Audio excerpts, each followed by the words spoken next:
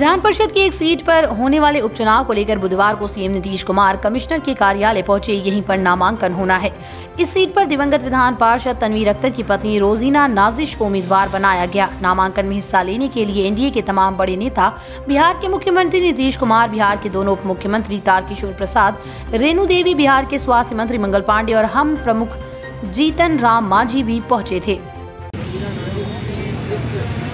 कह सकते हैं कि नामांकन की जो प्रक्रिया है उसमें वो शामिल होंगे। लेटेस्ट खबरों के लिए देखते रहिए एम न्यूज़ जेड न्यूज़ और ताज़ा अपडेट पाने के लिए चैनल सब्सक्राइब करना ना भूलें।